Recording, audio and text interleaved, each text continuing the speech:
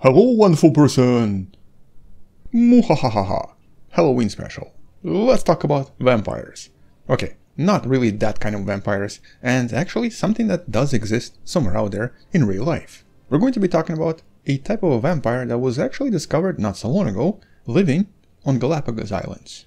That's right, this is going to be another educational video about something biological. Now I'm sure most of you are familiar with Galapagos Islands, located somewhere right here on planet Earth and popularized by the studies of the iconic Charles Darwin. But what makes these islands particularly interesting for biological studies or evolutionary studies are two main features. The islands here are remote and kind of different from one another, but despite their differences, for the most part life here is extremely inhospitable. It's extremely difficult to survive here for most living beings. In other words, this is not a paradise, and so any animal life living here has to adapt to very harsh conditions which as a side note is also important for various space studies because we know that at some point if humans live somewhere else outside of the planet Earth, we're going to start adapting to those conditions kind of similar to how life adapts on Galapagos.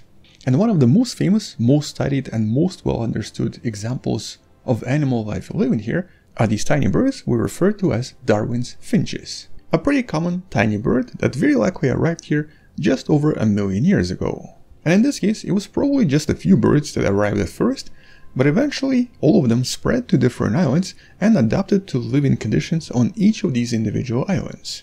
And because the conditions here are actually quite different depending on where you go, mostly because the food on one island might be very different from the food on the other island, over time, over this 1 million years, the finches adapted to the environment by essentially changing their beaks.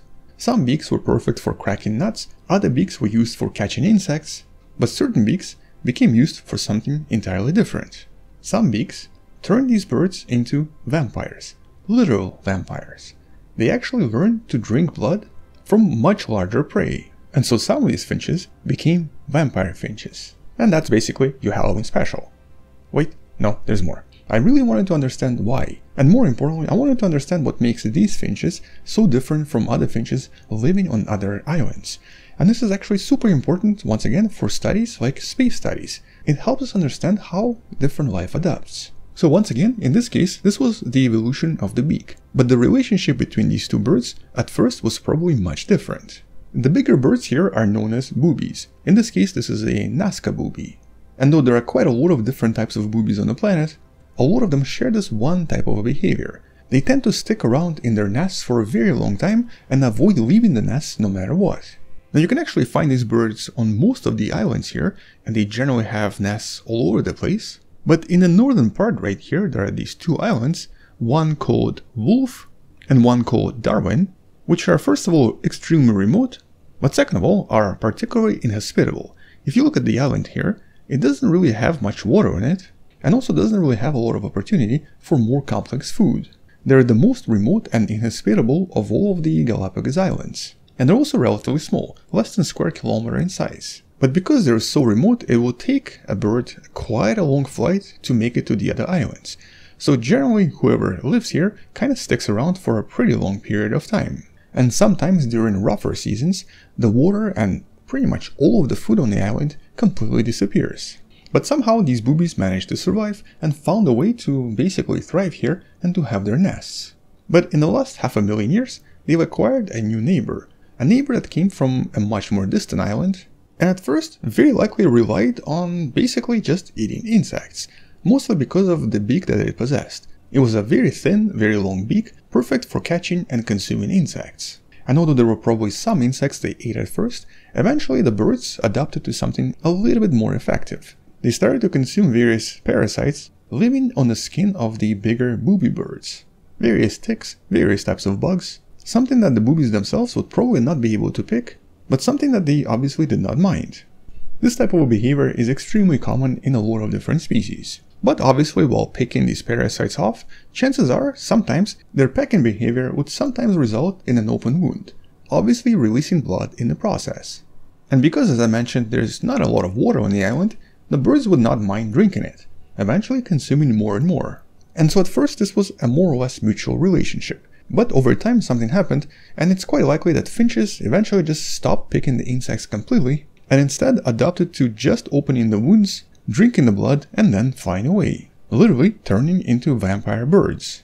And in this case, it looks like these finches learned to pierce the skin at the base of young feathers in order to access the blood directly. They literally became perfect parasites. And none of them no longer picked any more insects from the skin. But the analysis further showed that it wasn't really the only thing that they ate. They still ate a lot of other stuff, most likely more insects from other sources, and only about 10% of all of their nutrients came from the blood. But surprisingly, they really are vampire birds. And this came from the analysis of their internal gut. They possessed bacteria that were specifically evolved to break down blood cells and to release nutrients. Something that no other finch, actually no other bird, seems to possess.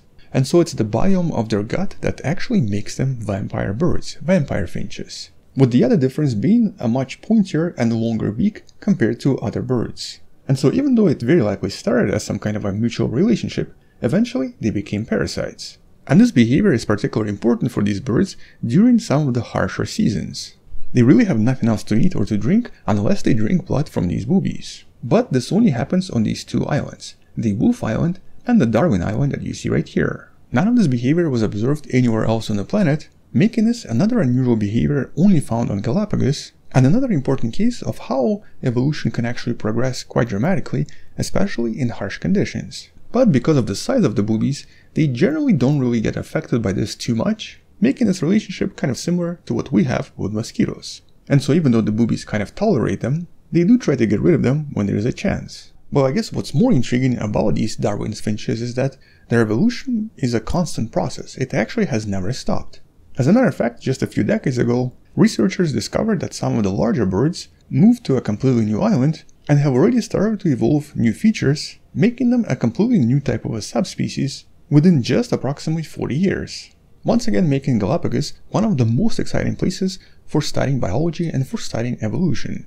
But it's obviously something that one day might affect us as well, especially if we start to become interplanetary. For example, one day we might have a colony on the moon, we might even settle on Mars, and we might start living in extremely hard conditions where year after year our bodies will start to change as well. Now we obviously have no idea what kind of adaptations humans will have by living on other planets such as Mars, but just like with the finches, it's most likely going to start happening with our guts first. Our gut bacteria is going to change first and will then start affecting the rest of the body as well.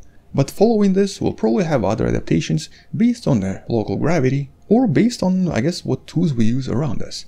Since the finches use beaks and their beaks changed over time, maybe we'll have our hands change, or maybe something else. Obviously none of this is going to be instant and will take generations of people living in these conditions for all of this to take place, but by living on other objects in the solar system, it's quite likely that this is where our evolution will start to diverge. And we can learn so much about it from these finches on the Galapagos, including the unusual vampire finches. And that's pretty much it. The vampire birds in action. On that note, Thank you for watching, subscribe, and happy Halloween everyone! Also stay wonderful, see you tomorrow. Maybe support this channel on Patreon by joining channel membership or by buying the Wonderful Person t-shirt you can find in the description. Stay wonderful, I'll see you tomorrow, bye bye.